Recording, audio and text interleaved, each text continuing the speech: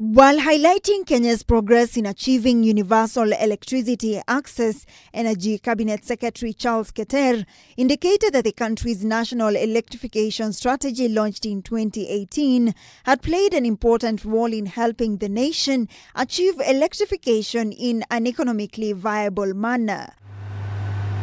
The CS say the country had made remarkable progress in increasing access to electric power as a result of deliberate government efforts and private sector investment.